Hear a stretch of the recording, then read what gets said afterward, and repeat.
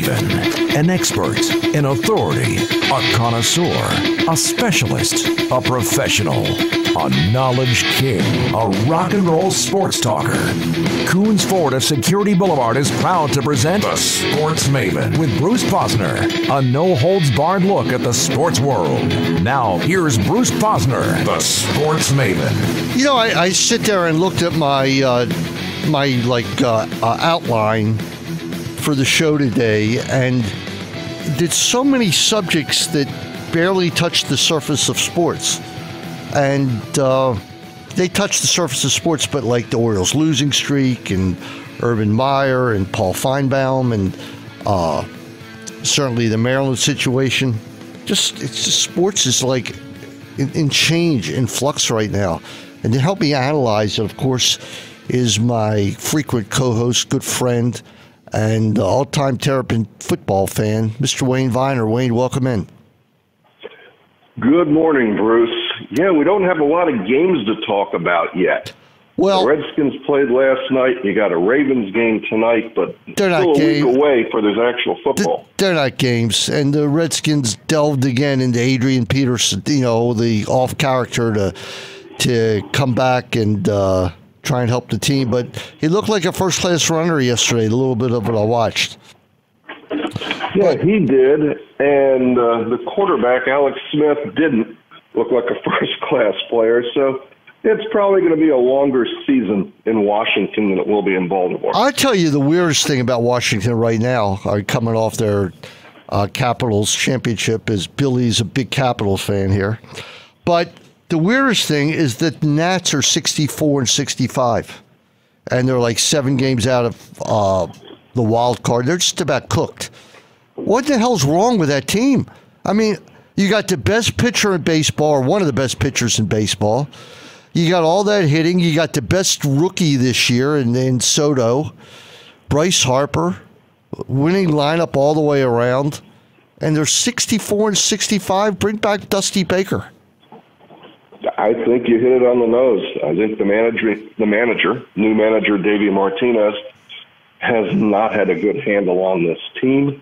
The toughest guy they had was Dusty Baker, and without him, they just sort of don't have a center of that team. That's not not Bryce Harper's role yet, and there's a lot of talk that Bryce Harper's going to be moving on.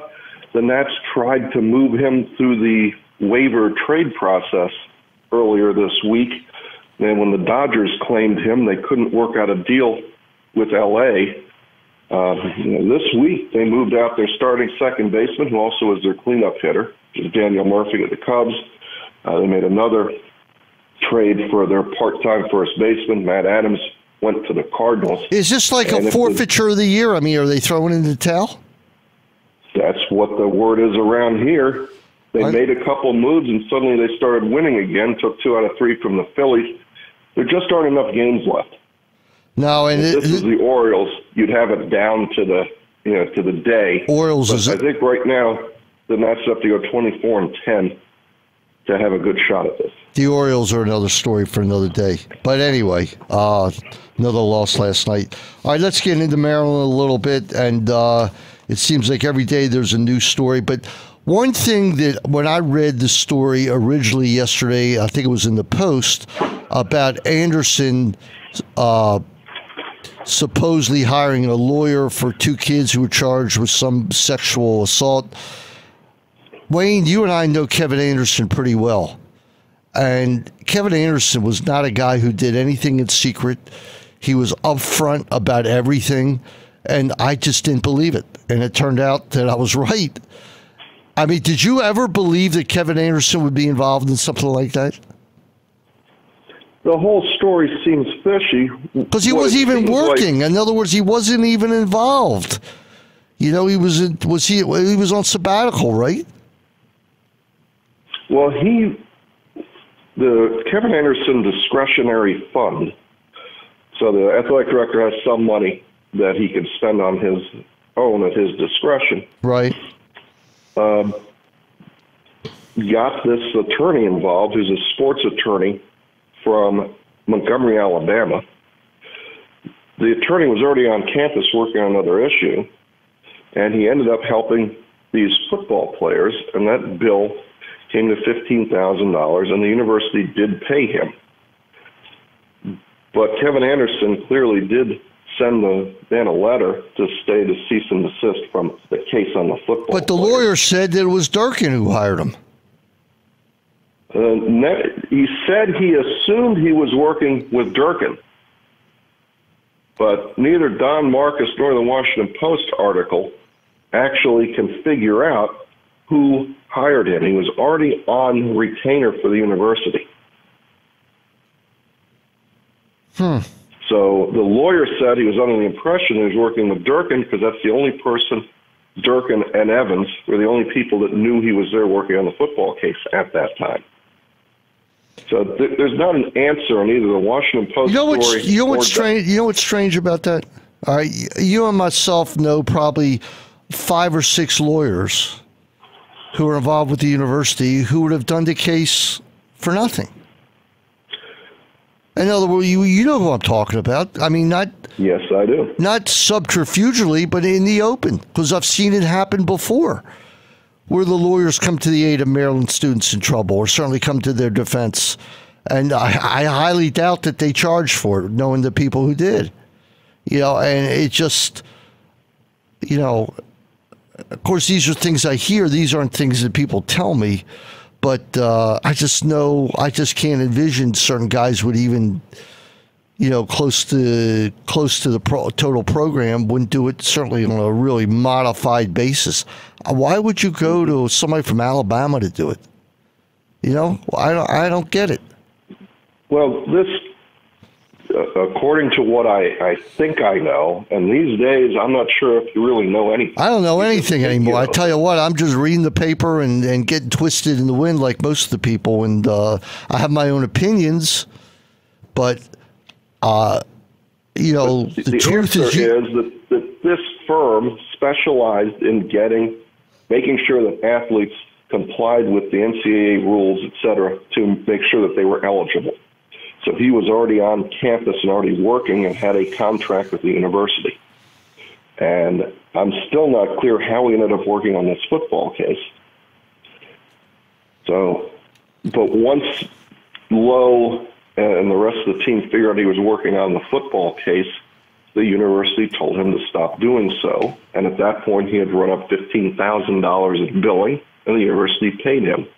What's unclear is what happened next because I'm not sure he actually stopped working on that football case.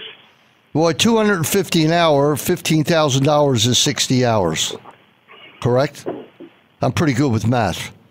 So he worked on That's it for pretty good. Yeah, he worked on it for a little bit over a week. I the whole story is just it just does this story will not end. And and to me to me when we see Urban Meyer get virtually nothing Nothing. Don't tell me it was a three game suspension. It was a one game suspension because he's allowed to prepare the team. All right. He's allowed to prepare the team in the other two games. You know, money rules the roost, as they say. And, you know, what happened with Urban Meyer, which I knew from the get go, they would never get rid of him. Uh, even though he blatantly ignored a sexual assault from one of his staff members, had knowledge of it, and did nothing about it. Uh, I just knew it would pass. And then yesterday, after not apologizing for for whatever length of time, he tweeted uh, an apology to this Courtney Smith.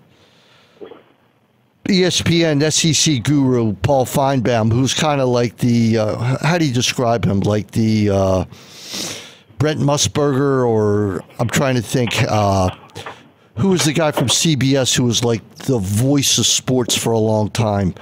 Jack Whitaker. All right. And Paul Finebaum, I think everyone would agree, is like the Jack Whitaker of college football. And he just blasted Ohio State and Urban Meyer the other day. Just blasted them. And Urban Meyer, three games. I don't know what's going to happen to DJ, but we're already hearing speculation about the next coach. And uh, I, to me, it's it's a subject that shouldn't be broached. But when I hear some of the names, it's it's it. I don't like to use. It's a joke. It's guys who would never come here, and then somebody mentioned Lane Kiffin. Who in the hell would want Lane Kiffin after all that's gone down? You know, I mean, who would want him? I don't know, Wayne. I, I would actually assume that Maryland would want him because he's big news. Of course, he'll end up being trouble if you'd ever get him here, but he would sell some tickets. I'm afraid with the as everything moves towards the Board of Regents side, although they seem to be, as we said on the air on Wednesday, the utmost and standing, very successful people who seem to love Maryland. I fear that it might turn a little more towards academic side, and we're going to end up uh, almost a de facto de-emphasizing football over this. Can't happen. I know you're not going to give it up. No, it can't happen. You're not going to de-emphasize football ever. You're not going. It's not going to happen at Maryland. You're talking about a team rich in history, national champions, although 60 years ago or 70 years ago, uh, you know, ACC champs at some point. They're not. They're not going to de-emphasize football. They're not. It's just not going to happen. There's too much involved. Holy cow! How much do they spend on the new Cole Field Center? I mean, I two hundred, a couple hundred million dollars. It, it's it's never going to be de-emphasized. It could be, it could be taken down and restarted, but de-emphasized, never, never. Might take a long time to come back. Might not. Know, I think the most viable guy right now is Matt Canada. Give him a chance. He has, you know, we have, we haven't taken the field yet you know, and see what happens, you know. And uh, if Durkin, if the Durkin situation doesn't work out, you know, you got somebody there, you got you know things in place. I don't, I don't know. It's a tough one, but we're playing Texas next week, and uh, what a great, great start to the season it would be after all that happened, if we could take down the Longhorns and is it going to happen, Wayne? Could it happen? Oh, it certainly could happen. I mean, what I don't uh, see a number on the game. All right, I really don't. I've looked and looked, but uh, I assume Texas would be what about a ten point favorite, a nine point favorite? Uh, last time I saw it, it was 12 and a half. 12 and a half. Too many points. Too many points. Despite all what's going on in Maryland, guess what? Tyrrell Pigrome and Kasim Hill are healthy. Big factor. Last time we had two healthy quarterbacks against Texas, what happened, Wayne? In Austin. The last time, the Maryland Terrapins won the game, beat them in many different ways. And I thought that was the high water mark. And maybe one day we'll look back and go, "Can you believe that happened?" Look, look what happened next. I'm still but, in. I'm still. Man, I'm still in shock that Maryland actually beat Michigan and uh, Penn State in the same year. You know, under Randy Edsall. We can't forget about that. But uh, yeah, they beat but Texas. A year ago, a year ago, the whole world, the whole football world, was toasting to the success of the Maryland Terrapins, who went into Austin, Texas, and beat them. Of course, Pigrome tore his ACL in that game, and Kasim Hill came in and looked like a young gunslinger, saved the day for the Terps. It was that was a great day, Bruce. What a day! Yeah, I can't wait to see what Matt Canada. Who's he? Look, he comes here as a off with a history as a offensive guru who couldn't get along with Ed Orgeron.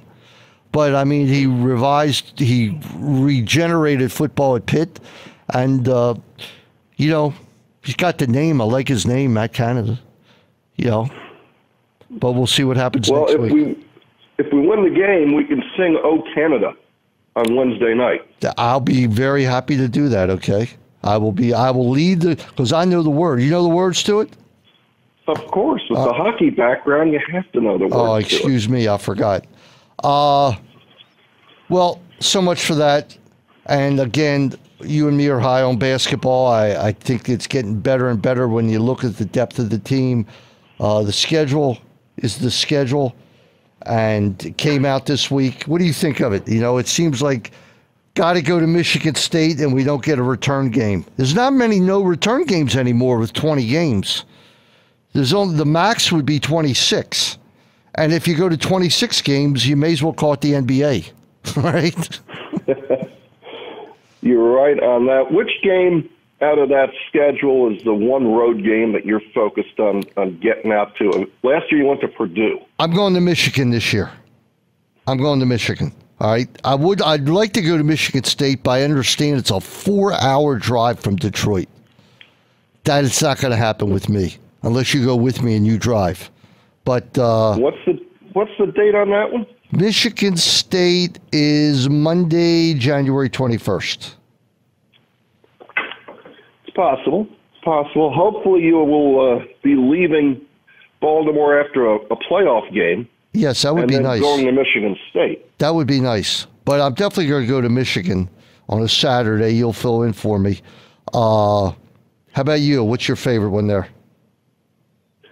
I'm excited for the early season home games. Um, what do we have? Uh, Seton Hall is it, and Virginia comes in. Virginia's a big game. Very big game. I got another game we should go to. Oh, it's going to be tough on a Saturday. That Rutgers game, January 5th. If it's not Oh, I think we can get there. Yeah. We can drive to that with that two and a half hours up to the football stadium, so it's about the same. well, if it's a night game, it's no problem. We can do the show, then go up. But uh, That works for me. So, Yeah. what do you have planned for tonight? Uh, I take it you are going to the game tonight. Yes, you know I'm a, a loyalist. There's no doubt about it. I'm going to the doubleheader today, day night doubleheader, and uh, you know it's amazing, Wayne. People criticize the Oriole fans for this and for that, and I know there were a lot of Yankee fans la- there last night. But you know what? There were 26,000 people, and for the final three games of the series, they're expecting 100,000. And this is the Orioles are the worst team in baseball. And yeah, there's a lot of Yankee fans there, but there's not 20,000 Yankee fans. And and what's the difference? Attendance is attendance. But I got to say that's pretty strong for a team that's 37 and 91, heading for like the worst, the end. I mean, you know, maybe as the worst team in baseball ever. Chris Davis hit a home run off Zach Britton last night. That was kind of nice, although it was meaningless. But A uh, little like two outs.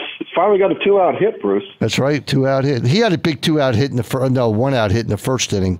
He got a, a single to right field to score two runs with the bases loaded off of Sabathia. And Sabathia responded, I'm not going to say he threw at him, but he, he threw at him inside the next time up. Davis got knocked down. It was actually a foul ball, and he was hysterical. I mean, who in the world would throw at Chris Davis? That's like wasting a pitch. All right, why would you throw at him? But uh, I don't know. He's he's armored up there to take that hit. He's got some The uh, elbow stuff, yeah. Size padding on. Yeah, for sure. Hey, Wayne, we're Hey, way. uh, go ahead. Last I comment. know we're over, but I, I just give me ten seconds. So, what do you think of this new second baseman who is is really hitting the ball well? You know what is funny? Uh, it's not funny, but I feel bad because I like Jonathan Schoop. But through uh, Friday, through Thursday, here were his numbers. In 19 games with the Brewers, Schoop is batting 179 with one home run, four RBIs, and 20 strikeouts. Uh, you think the Milwaukee's Wow. glad they made that deal? No, but but look, uh, Villar wasn't doing what he does, is what he's doing for the Orioles when he was in Milwaukee. Well, like sometimes they it just changes scenery works and sometimes it doesn't. You know, and I think Villar has been, I think he's making a push to be the everyday second baseman and uh, two run homer to give a lead, a four to two lead over the Yankees. That's pretty impressive. And, you know, he's got some big hits and he, he works well out of that leadoff or second position. Uh, right now, plus the other prospects the Orioles got, that trade's looking like an outright winner. Manny, Manny or Cody Carroll yesterday, it was not his day. It was not his. Day. Anytime you looked at the Yankees lineup yesterday, holy cow! It was like, you know, is, is everybody on that team hurt? I mean, Yes, Uh, they are. As somebody reads the New York Post once in a while, so many guys are hurt. Look, Manny went to the Dodgers, was hitting over 300. He's cooled off to 275, and the Dodgers man, the Dodgers look like they're falling off the pace. He is not. even for the He has not. card. He has not moved them into higher stratus. He's batted 273. He's had a couple good games. He's played well, but he's not. Uh, I didn't think those guys would go over to the National League and just take over. I think that uh, getting used to the different pitching has, has been a, a factor for them, and uh, certainly the pressure that's on Schoop. You know, he's sent over there to help take them to a wild card, and it ain't happening. Wayne, we are really out of time. Got to go. Thanks, thanks a lot for checking in, my friend, and uh, we'll see you soon. Thanks for having me. Go Terps. All right, buddy. All right, this is Bruce Posner. We introduce a new sponsor today. Actually, two new sponsors. Number one, it's by the same owner, however, the Valley Inn on 10501 Falls Road, 410 828 0002. 2010, 2011, Teddy Bauer took that building and renovated, but kept the same historical feel. What a phenomenal, great social place to go. Happy hours, Monday through Thursday. Tremendous deals. Tuesday night, I kind of love it's $1 oysters. Reasonable pricing on their light fare menus for lunch and dinner known for its tremendous assortment of seafood. Valley, the Valley Room has a 10 foot projection system, can seat up to 85 people for your special guest. And let me tell you the main thing about the Valley Inn. It's always packed, but the atmosphere is really upbeat. It's a great place to go. You're going to see a lot of your friends from around the area here in Towson and Pikesville and Owings Mills and right in uh, even Mount Washington and Falls Road area. Uh, you're going to know so many people there, and it's just a tremendous conglomeration of everybody. And when the weather's nice and the patio's open, the place is rocking. We thank the Valley Inn for coming in to sponsor Terp Talk and the Sports Maven and in the Nest 410 828 0002 10501 Falls Road, the Valley Inn. Thank you for joining us. This is Bruce Posner. We'll be back in a few minutes here on CBS Sports Radio 1300. Welcome back to Sports Maven, presented by Koons Ford of Security Boulevard. Now, once again, here's Bruce Posner, Sports Maven. All right, we talked about our two new sponsors, and of course, we'll go into the other one right now before we start this segment. And that, of course, is the Oregon Grill. We all know about the Oregon Grill over on 1201 Shawan Road, uh, right next to where the fireworks are every year. It's a romantic getaway located in the heart of Maryland's beautiful horse country. They uh, they serve classic American cuisine in a luxurious renovated 19th century stone farmhouse. Winner of the 2017 Diner's Choice Award. Uh, tremendous outdoor setting for lunch or dinner. Uh, my favorite. Now I'm eating a lot of salads these days. They have a seafood salad. It's called Seafood Cobb. That is uh, second to none in, in the town. Check out, check out their seven dollar lunch specials every day, one a day, every day a week. Their brunch on Sundays incredible. We know about the restaurant. Billy Shriver certainly uh, runs the runs the restaurant for Ted Bauer, the owner, and Ted Bauer also owner of the Valley Inn just a tremendous place to take your family on a special event or just to go out with your friends and have a great time sitting outside when the weather's good. Wow, what a night. What a night tonight would be at the Oregon Grill. Gorgeous, gorgeous night in the 60s and uh, a super night to go to the Oregon Grill. 410 771 0505, and they're on 1201 Shawan Road. And we thank the Oregon Grill for joining uh, the Sports Maven and Terp Talk family. And uh, look forward to our relationship with them and eating there a lot and seeing all my good friends there. All right. I'm going to take a few minutes here talking about the NFL. And the first thing I want to say is Nick Foles. Nick Foles, Billy, I don't know if you watched it the other night, was absolutely horrendous. Did not look good. That's He was sure. absolutely horrendous against the Browns. might be one of the most boring seasons or preseason games I've ever seen. Yes, it was hard to watch, but of course I was watching it for uh, Johnny for uh, Baker Mayfield. Of course. and uh, he was okay that day. But now it looks like Tyrod might be out, and Baker might be starting. Now Baker got dinged up a little bit too, so Tyrod's the hand, right? yeah, Tyrod might be out, but uh, let's hope both of them are ready. But I have to tell you something. It's not a it's not a great way to open up your career. No, definitely not. Uh, against Pittsburgh and and uh, but I've been impressed with Baker Mayfield. He's not looked too bad. Yeah. Not looked too bad. Steady, very steady. Yes. And of course, getting to the Ravens that matter. Ravens face the Dolphins tonight at seven o'clock in Miami. Talked to my brother. Can't wait to go tonight. Big Dolphins fan in Florida. But anyway, it does seem like a foregone conclusion now that RG three will make the squad. Even Harbaugh said something yesterday about it. You think he will make the squad? Yes, he will I- make the squad. I and agree. I think it's because we've come to the conclusion, and not surprisingly, that Lamar Jackson is just not ready. He's not. And and I think it's the smart thing to do. Bring three. You never know what happens. Then if RG three goes down, then you got a third person there. But I think that is the right call. I would yeah, I mean. RG3's look good, certainly serviceable, and uh, although Lamar Jackson, they say, will, will be in a couple packages for opening day. and that'll be really interesting. Probably because it's it. home. Yes, right? yeah, Probably probably. because it's home. But that will be fun. It's another reason to go to the game. But we got hit by bad news this week. Not a good week. Two injuries to two of the most crucial parts of the uh, offense. Neither of them, one of them is semi-serious, and that's the Hayden Hurst. He is out for three to four weeks, and uh, with a stress fracture in his foot. Yeah, I don't know. And that's scary when you That hear that. scary. I, I don't buy the whole three to four weeks thing, unfortunately. I think it's going to be a little bit closer to five to six. Uh, it's sad to me because we know how much Joe likes his tight ends. So I, I was really looking forward to seeing Hayden out there. Uh, unfortunately, that is going to have to wait. Not going to happen. It's not going to happen. And, uh, you know, and of course, Ronnie Stanley, minor injury.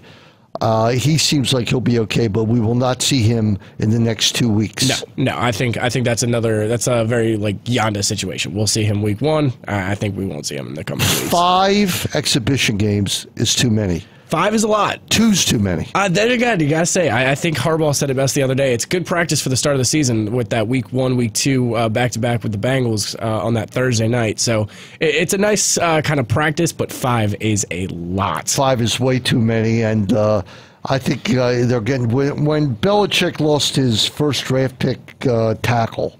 To me, that's the sign that uh, everybody started talking about. This has got to come to an end. Yeah. this has got to stop because you're going to lose guys every week anyway, and just to add one more to it in something that's totally meaningless. And you gotta. Although some would argue every game is totally Yeah, meaningless. that's a- that's a fair that's another way to too. look at it. But Fair uh, point. whatever. Uh, I'm concerned. Here's some stats on Joe Flacco. We were talking during the break. Lay it on me. All right. The ninth worst yards per pass attempt in the past decade of 5.72 belongs to Joe Flacco's season last year. It sounds about right. It really 5.72. It was every play a check down? Uh, it's. I was there for a lot of them. I gotta say, it sure seemed like it. It got real rough there towards the end of the season too. Then you have, in the past four seasons, he's had a total of 92 TDs and interceptions. Your guess was great. So I'll give everybody out there listening a second to put 92, come up with a number that you think would be uh, acceptable. And it's not going to be what Joe did. All right. Joe had 52 TDs and 40 interceptions. That is scary. It's not great, and I'm a Joe Flacco guy, and I, I love Joe Flacco, great. but uh, he's got to improve, my man. He does. He and this is it. This is his season, and I think he knows that. I, I think he's well aware of the facts. I think he knows that they're pretty high on Lamar. Uh, if there's a season to go have, it's going to be this one. I gotta say. yeah, well, Joe's on his contract year. We all remember what happened last time he was in his contract year. That's true. Came up with uh, a Super Bowl, a great run. That he's, I hate to say, he's kind of lived off of it, He, but no, he has. He, he has lived off. And you know what? You can make a case that yeah, you can live off a Super Bowl more run. power to him. I gotta say, he made his money. Although I'm not sure Nick Foles is going to live off the Super Bowl. I mean, he had two of the greatest games ever uh, in the championship game and in the Super Bowl. But to say that watching him in the past two games, it almost looks like they've, you know, we talk about football a lot. And the one thing you have to remember whenever there's like the new wrinkle, the new thing, Nick Foles was the new thing, it takes these guys who do nothing but watch film, look for weaknesses, and they now know that if you put pressure on Nick Foles, all right, after these games, he falls like an accordion. That's. I mean, that's what. And that's what it looks like. That's what it looked like, and Right. and that that kind of scares me if I'm an Eagles fan because uh, if I'm an Eagles fan, I don't want them rushing back Carson Wentz. I, I, I don't want. To, can't. I saw you saw him the other day. He looks like he can't move. Hey, yeah, so I mean, what are you left with at that point? You got Foles. You're left you with gotta, Nick Foles. You got to roll with him for a little bit. Uh, maybe things will change. It is exhibition, but you know, shut out by the Browns. But it wasn't that he was shut out. He threw two interceptions and two picks, and I mean, everything he did was bad. He did throw a couple nice passes, but.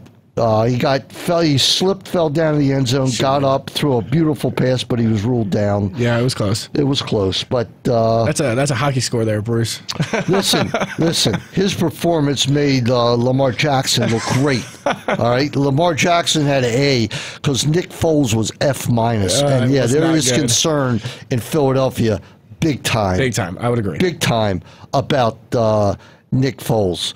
But so the uh, the Ravens go into Game One.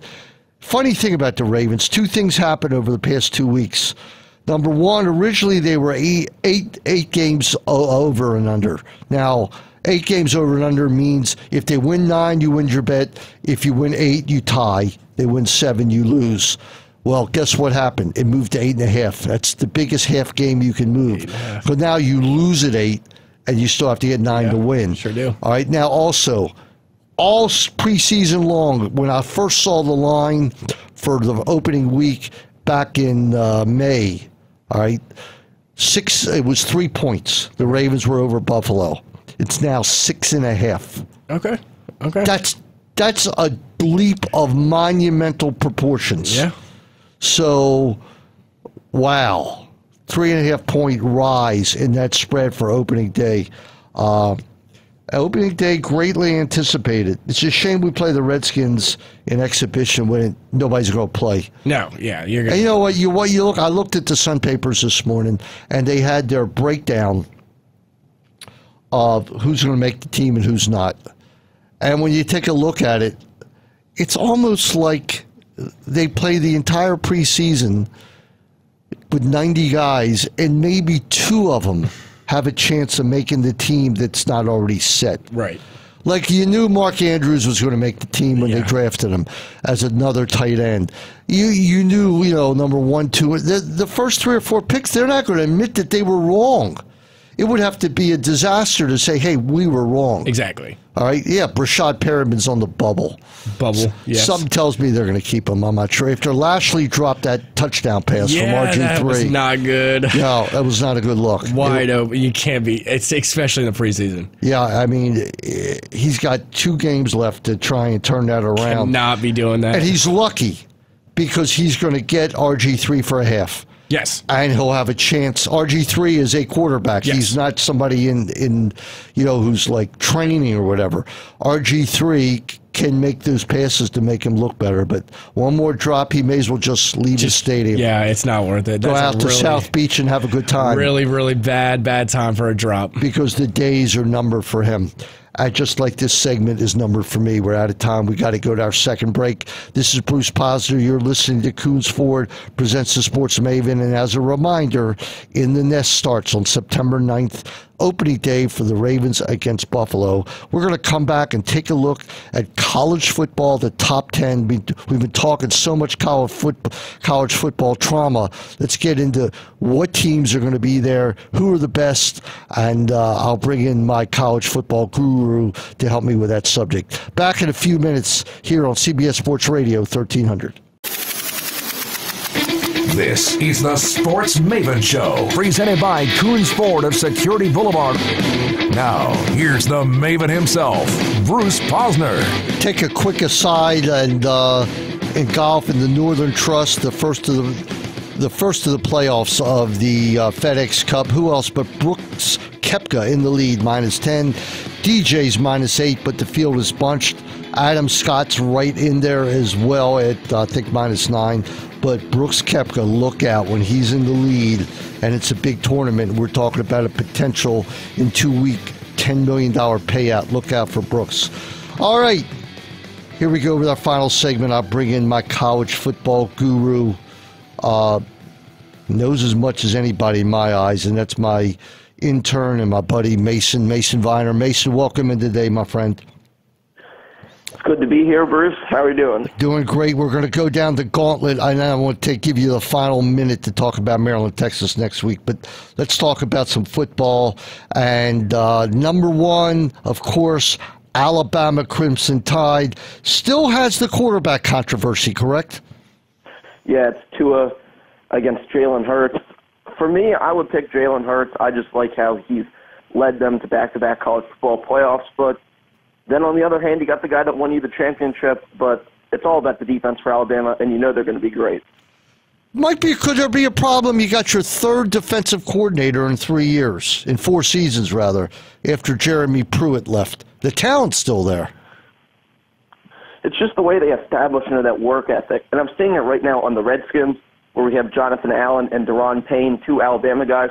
They're just on another level. Their work, the way they just show all that power is just, it gives you all the reasons why that Alabama defense is so great.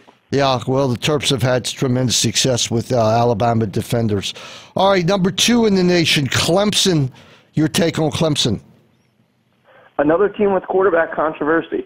Kelly Bryant against an incoming freshman. Kelly Bryant said the other day, three days ago, that he said that he deserved the starting job. Now, if he doesn't get it, I think that could cause big problems throughout that locker room. But Dabo Swinney is constantly proving himself as one of the best in college football. Uh, Travis Etienne, Heisman, possible? I don't know. The Heisman field this year, I think it's pretty wide open. There are a lot of guys that the Heisman odds makers are predicting to make big jumps, like Justin Herbert from Oregon or Jacob Fromm from Georgia. They really didn't have Heisman seasons last year, but the expectation is that they're stepping it up to the next level. A dark horse could definitely win it this year. Yeah, Travis Etienne, you give him a step, he's gone. I mean, he, the speed is incredible. I love him. Georgia picked third by, uh, I think this is the ESPN poll. Yeah, Bruce, you're talking about another team where people want the backup quarterback in the game. They brought in the number one quarterback, Justin Fields, and of course, the freshman from last year, Jacob Fromm. It looks like Fromm's going to get the job. That's what I would do. Don't throw a freshman out there. Stay with the guy that led you to the college football playoff. Other than that, you have a team that lost some key guys with Roquan Smith, the defensive end. They're going to have some things to replace, but the way Kirby Smart recruits at this point, they can definitely do it tremendous success at Georgia. And then, of course, Urban Meyer going to miss the first three games or first first game anyway uh, for Ohio State, and uh, an ex Maryland guy, Dwayne Haskins, will be the starting job. Won the starting job at quarterback. Can he can he take them to the promised land? Definitely, Bruce. Dwayne Haskins, another guy that's in that Heisman conversation for Ohio State, those first three games, you only got one that I would be concerned about. They play against TCU. As for the rest of the team, they have my best pass rusher in the country in Nick Bosa, brother of Joey Bosa. As always, the defense is looking strong, and you know when you can recruit like that, there's always going to be someone to step up on offense. But one guy to look for is Parris Campbell, the wide receiver. All right, we drop to number five. He's Baker Mayfield is gone onto the Cleveland Browns, but Oklahoma is still still uh, picked high, and Lincoln Riley's done a great job replacing Bob Stoops. Yeah, Lincoln Riley, I, in my opinion, one of the best young coaches in all of college football. This year under center, you will see Kyler Murray. He went to Texas A&M, was the number one quarterback recruit. Now he's at Oklahoma, where he got to back up Baker Mayfield last year. I think he's ready to get back on the field.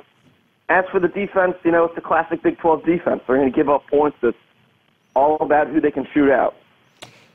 You know, it's funny. Uh, early big game, they play Florida Atlantic. That could be very interesting. Very interesting. Yeah, that's week one. I'm looking forward to Florida Atlantic because I love the, what Lane Kiffin's doing. I love him bringing in all those guys off the Netflix shows. It's just a great team to watch. All right, Wisconsin, always in the hunt. Pick number six right now. Uh, Alex Hornibrook returns, and uh, another Heisman possibility, Jonathan Taylor. Yeah, Bruce. Jonathan Taylor is one of my favorite players in college football. Really smart guy. For the quarterback, Alex Hornibrook, he's got to be better. He's got to be able to make some big throws down the line. He can't turn the ball over in big situations. But man, do I love myself some Wisconsin defense. They're made by that state. They always have seniors that will walk on to come up every year, and they're fun to watch. For a real football guy, they're a really fun team to watch because they're so their technique is so sound that it's really just a good team to watch. Uh, agreed. They're always in the hunt, and thank thank heavens Maryland doesn't have to play them this year. All right, they, we've drawn them. What the past three years, it's been ridiculous. Uh, the Washington Huskies, Chris Petersen, done a great job there. Yeah, Chris Petersen, the guy that led Boise State to those 12 0 seasons, really did a great job of rebuilding that Washington program. And I actually got to go look at their campus this summer. Really beautiful football stadium. They returned Heisman hopeful Jake Browning. They were in the college football playoff few years ago. They kind of had some rough patches last year, but that defense that Petersen brings always has really talented NFL guys. I just don't think they've ever really been able to put it together on the defensive side of the ball. But Jake Browning's going to have to be great for them to win a lot of games this year because the Pac-12 just seems to be getting tougher and tougher. Well, I'm going to skip Auburn because we're running out of time. I want to hear your take on Notre Dame. They're now up to number nine in the country. Is that over? They're always overhyped. Yeah, of course they're always overhyped, but they do have a great quarterback in Brandon Wimbush. They just got to get him out of the pocket, give him situations where he can run. And Brian Kelly is an offensive guru, so I'm sure they can get that offense going. And finally, number 10, Penn State. Penn State. Penn State's got was, big shoes to fill. Of course, they lost Saquon Barkley. But the backup running back is a guy that I've always liked, Miles Sanders. He's not quite Saquon Barkley, but he does have a great first step, can break some tackles. It's going to be a lot more on Trace McSorley this year, the quarterback. As for the defense, they're strong. They have a lot of talent, but they did lose a lot of guys last year. So for Penn State and James Franklin, they're going to have to pick it up in some places this year. Are you a Trace McSorley fan, their quarterback?